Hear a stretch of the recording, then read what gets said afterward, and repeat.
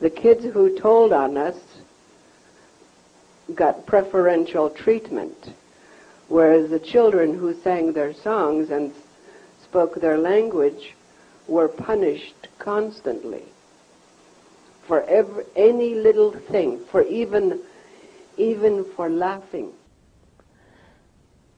It was always hard for us to tell one another we love you because we were taught to love was wrong. They told us to love was wrong, that was the devil's work. But yet, these priests and nuns could hug and kiss. And we couldn't even hug our own brothers. We couldn't even hold them and tell them we loved them.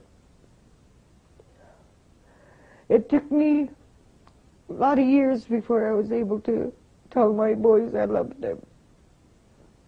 Three years it took me to realize it though, you know, of torture and pain, you know, being strapped at a young, you know, I, I lost my childhood when I first got there and never knew what it was like to have parents.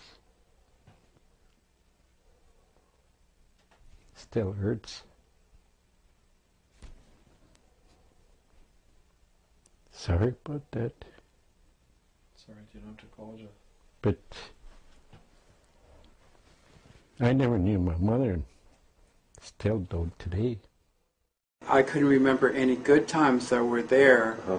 because I was being um, punished for things I'd never done. Like what kind of punishment? Um, punishment by restraining me to the bed, by putting a restrainer on me and holding me down in the bed. Um, I had bed problems as wetting the bed, and they would tie me in bed and put an electric underneath my sheet so that when I did wet, I would electrocute myself. Did they put you in a hospital? Yes, I did. Well, yeah, you give me some drugs or something like that. What kind? What happened I to don't know you? what kind of drug it was. What happened to you when they gave you the drugs? Eh? Oh, yeah, put me in there like a padded room. Padded room, like? Oh, uh, all strapped down. That was after you reported the girl. Yeah. Finding the girl's body. Yeah. I'd seen them burn hands of kids when they're three years old and five, with a little spike in their hand and like that, like a shock thing. Electric shock Yeah, device. Why did they shock the kids? because the kids wouldn't listen to the Catholic priest.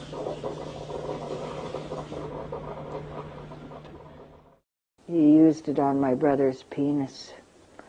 He electrocuted his penis there till my brother passed out. And he was laughing, brother. My brother said he was laughing while he was doing it. You'd like to see him in pain, I guess. Then in the police force, I, I was involved in a few investigations regarding victims of residential school where one particular individual had went home in the summer and learned how to speak his own language and his dad had taught him how to carve. he went back to school. He uh, he uh, he continued doing this, speaking his own language and carving. And the teacher caught him and took his knife away and broke his carving up. And, and he took a pencil and he drove it right through his hand. And you, still see the scar where he drove the pencil right through his, his hand. Then there was other times where they put us in a tub, and then they had a bucket of snakes, you know, them black and yellow snakes, and they'd throw that in the tub while we're having a bath, and the snakes are, they can't stand that hot water. They try to crawl all over our bodies, trying to get away from that hot water, and they'd all just curl up because they die immediately. And those some of the horrifying things that they've done to us to discipline us to keep quiet. What had I got myself into? My whole world was being turned upside down. I had a young family to support. My children were still only infants. I couldn't put them at risk, which I would be if I let those stories be spoken from my pulpit. I didn't know what to believe or who to believe. I know I didn't want to believe these stories. Well, when you went home at night with your family, your wife and two daughters, did you talk about this? Did they talk? Was this supper material to talk about? No, I couldn't really share this around my kids or really my wife at the time. Um, you know, it, for one thing, I was told in confidence, and another thing was uh, it was a nightmare. I needed help. I turned to the people who I thought would understand and support me, my colleagues in the church. That was a mistake. From top to bottom, the church denied that any children had been harmed in the residential schools. Not only that, but church officials even threatened me to keep quiet about what I had been told. I was told to just stick to what they called being a good minister and tend to my flock. But that's what I thought I was doing by opening the doors of my church, even to Indians. And that's ultimately what the church found intolerable that I was bringing that truth, you know, into the pews on Sunday and, and letting those people who had been silenced for so long, long speak. And I'm still trying to do that in the work I do. Well, didn't any of the church ministers sit down and sit with you and say, these are the rules and regulations, you're not to mess with the native, and this is what happens? They weren't that blatant, but it was a subtle. They were subtle warnings I got. Uh, there was a fellow, uh, Bill Howie, who was head of the, the church. He was kind of like the regional rep for the United Church on Vancouver Island. And he came over to me after my first presbytery meeting, which is where all the ministers get together a few times every year. And, and I made a comment at that meeting about how it was odd to me that there were no Native people in our churches and that and we should begin to look into the reason why. And Bill Howie came over and he sat down next to me and he, with his big flashy smile, he said, "You know, you have a very promising career in the United Church and a young family to support. And if I were you, I'd be careful about comments and, t- and looking too much into into the Native people." So did it's you, like, did you get it? no, I mean, to, to me, that seemed very odd he would say that. And I didn't think, you know, I was filled with illusions and I thought, well, this is the Church of Christ. I mean, we're not going to stab each other in the back. I mean, I was very ignorant of our own history. There's an establishment within the United Church in Port Alberni that um, set out to destroy Kevin Kavanagh, and they, they set out by contacting those members, which I call the cliques in, in Port Alberni, um, bring them together and uh, discredit Kavanagh at all costs. Because what they had to lose was the fear of, of, of course, financial retribution from the Aboriginal people, but also they didn't want to hear about uh, murders and they didn't want to hear about abuses that took place with the Aboriginal people because they felt that they'd had too much to lose.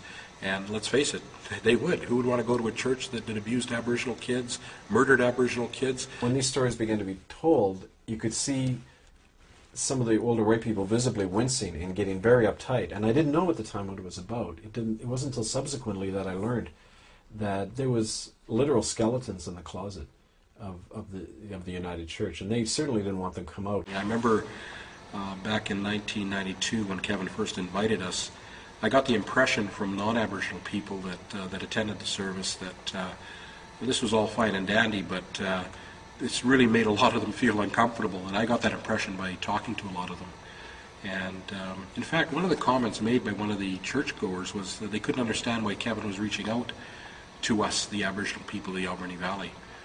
Um, I understood why Kevin was doing it because there had been an alienation for a number of years, and uh, but I didn't know that the the anti-Aboriginal congregation that existed there was so adamant that they didn't want anything to do with us. What kind of people didn't they like? Well, definitely not the poor.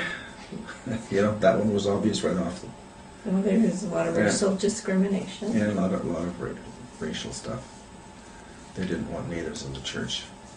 And as Kevin developed uh, the food bank and developed um, a dialogue about the murders that took place in residential schools, I suddenly saw firsthand um, the attacks that started to come towards Kevin. It first started out as whispers, and I remember hearing from people in the Alberni Valley who, who used to go to the coffee shops that uh, Kevin Annett was opening up a can of worms he shouldn't be opening up, and how dare he. which is why I was removed so quickly. I was just summarily fired from my my job without any cause, without any due process or anything. On January 23, 1995, after nearly three years as minister of St. Andrew's United Church, Kevin Annett was fired without cause or notice by two officials of the United Church, without the knowledge or consent of his congregation.